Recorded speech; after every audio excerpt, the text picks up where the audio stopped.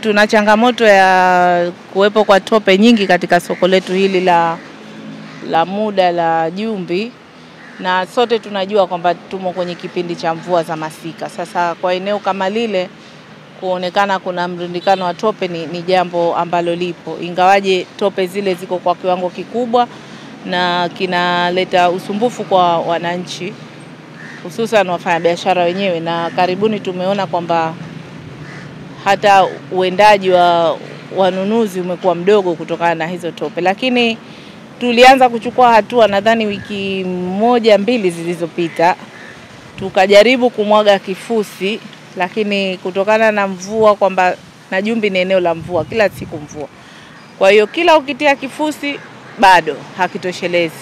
Sasa baadaye ndo tukaona tu, tufanye mawasiliano na wenzetu wa uh, Wizara ya Mawasiliano tulizungumza na katibu mkuu akaleta mainjinia wake wa UB wamekuja, tukakagua hilo eneo kwa pamoja, tukashauriana, na kiukweli wao kutokana na utaalamu wao walisema sasa hivi hatuwezi kuweka kifusi wakati mvua na, na maji bado yapo kwenye yale maeneo zile tope, lakini tulishauriana tuchukue hatua ya dharura, na hiyo ndio ambayo tulianza toka jana. Tulikuwa tuna hiyo kulistadi lile eneo tukasema kuna njia ile ya kuingilia na mzunguko, angalau magari ya mizigo na yanokwenda yaweze kupita, na tutakuwa tunafanya one way, kwa maana ukiingia tena hutarudi huko huko, ukiingia utarudia upande wa pili wa, wa, wa, wa barabara ambako ndo hiyo tunai, tunaitengeneza karibu kilomita, no, kilomita moja au mita kama mia saba mia nane. Lakini tumeanza kama mnavyoona ila tu ni, ni, ni, ni, niombe sana wananchi wafanya biashara kama tulivyozoea, linapotokea tatizo anafanya mawasiliano na ofisi ya mkuu wa wilaya, manispaa na tunalirekebisha.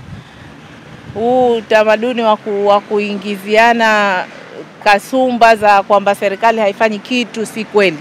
Swala la Jumbi la tope serikali inalijua na tulishaanza kuchukua hatua za awali lakini mvua zinaendelea kutusumbua. Ukiweka kifusi asubuhi, jioni mvua imenyesha.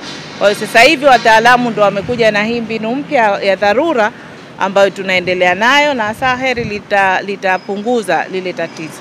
Niwaombe waendelee kuwa na subira wakati tunaendelea na matengenezo. Uh, sisi wafanyabiashara hasa sisi wa machinga ambao tunauza biashara za nguo, viatu na wafanyabiashara wengi wanauza vitu vya mboga mboga, mchuzi, wamekuwa wakilalamika sana kuhusu tope, lakini tunashukuru Mungu kwa sababu malalamiko yetu, waheshimiwa mkuu wa soko na kamati yake, meya wamekuja wakaliangalia hili, wameliridhia. Leo wametumwagia kifusi, tunafurahi sana. Naiona serikali imechukua hatua, serikali iendelee kufanya hivi hivi ili wananchi wafurahi, kwa sababu wananchi ni Wazanzibari. Ni hatua nzuri na inapendeza, kwa sababu ukiona hali kama hii mtu hawezi kukaruka tena, unaona, tofauti na pale mwanzo, mara mpita huko umekanyaga bwawa, mara mpita huko umekanyaga tope. Sasa nakuta hata wateja unawakimbiza, lakini hali kama hii kitokea kama hivi na kwa safi, mtu hapo yoyote mtu akijia mara moja ndo ana yes, sasa hivi kuko vizuri. Mimi naipongeza serikali kwa hatua aliyochukua kama kwa hii hatua hii serikali inachoniambia kwamba wajitahidi kuboresha miundombinu kama hii ya soko eh, biashara ziende vizuri. Eh, unajua ukiboresha miundombinu kama hii basi hata wateja wanakuwa wengi.